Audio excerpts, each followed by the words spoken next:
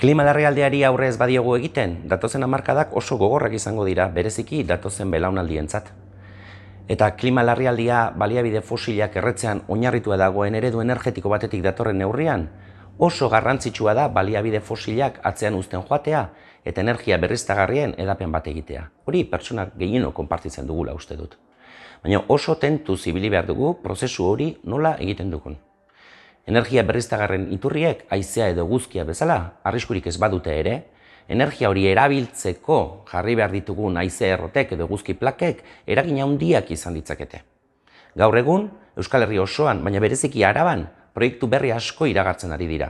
Baina prozesu komplexua ordenatu eta lurraldeari kalteak ez egitean zentratu ordez, jaularitza eta hainbat enpresa arrapaladan ari dira. Eta bereziki, iragarri diren proiektu eolikoek kezka handia eragin dute. Aurre ikusi diren kokaleku asko, naturora undarea eta biodibertsitatearen zaintzarekin batera ezinak izan daitezkelako. Araban, bazegoen kontsentsu politiko bat, hainbat zonalde, balio naturalengatik esklusio ere bilakatzeko. Eta mugarri izeneko plan batean jasota zeuden. Aurreko astean ordea, kontsentsu hori EAJ eta PSEek apurtu zuten, babestu beharreko hainbat eremu arriskuan ipiniz.